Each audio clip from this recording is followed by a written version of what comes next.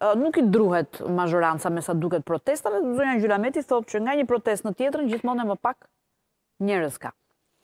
Unë nuk do të doja në fakt që pavarësisht që i dham pak ngjyra të tjera retorikës tonë në fillim, që të bie dakord me zotin Çani që nuk diskutohet kush ka drejtë dhe kush nuk ka drejtë, por diskutohet kush është më i fortë dhe kush është më i dobët. Po. Fatkeqësisht është kështu. Po pra, dhe duke qenë atëherë, të po të po ta pranosh këtë që jemi duke diskutuar kush është më i fortë dhe kush është më i dobët, do të thotë që kemi jemi në xhungël ku është ligji i më të fortit. Pra, kafsha më e fortë ha kafshën më të dobët, apo jo. Po kështu është gjithë botën, Dritan. Po jo mor burrë se. Thjesht pjesa tjetër e botës. Po jo, pra nuk është kështu. Që thuhet e që të detyruar, dita po, pra, kamuflojnë më mirë. Po jo, nuk pra, e bën në mënyrë kaq bajate, jo, vetëm kaq, po thelbi nuk ndryshon. Po ky është relativizimi, kjo është po, jo, tamam jo. ekuivalente asaj shprehjes që pse mërziteni për vrasjet, për vjedhjet, se këto ndodhin në gjithë botën me këto bëhen dhe filma. Po jo, mor Dritan, po, po ta trajtosh kështu gjënë, nuk kemi thënë gjë. Filozofikisht është kështu. Po jo, pra nuk është kështu. Pastaj me plus minus 5 sigurisht që vendet ndryshojnë nga njëra tjetra. Ka shkelje në të gjithë botën patjetër, por shtyllat, bazat, mënyra se si funksionojnë institucionet, si funksionon shoqëria, nuk është në këtë nivel. Po sepse në këto vende bëhet zgjedhje po, instant, po, pra, ka zgjedhje prandaj. Po pra, po. Këtë thotë Çani, ke fuqi ta rikthesh demokracinë. Se ai s'do mo ta bëj demokraci. Ke ti fuqi ta rikthesh. Ti dhe ne të gjithë. Atë do.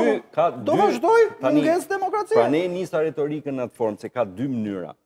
Në rast se ne bisedojmë si njerëz të qytetëruar duke iu referuar rregullave që kemi rënë së bashku dakord, Në një moment të caktuar prishen rregullat. Atëherë, në momentin që juve më jepni argumentin që ai është i fortë, ai thotë s'dua, s'dua ta ngre komisionin, po. s'dua ta bëj këtë. Po. Atëherë, kur ke përballë s'duan, s'dua pastaj do veprime të tjera. Duhet këtë të cilat, të po, cilat nuk hyjnë më ke loja me demokraci. Po të kemi thënë se ka mundësi tjetër. Po kemi thënë se ka mundësi tjetër. Atëherë kjo prit tash.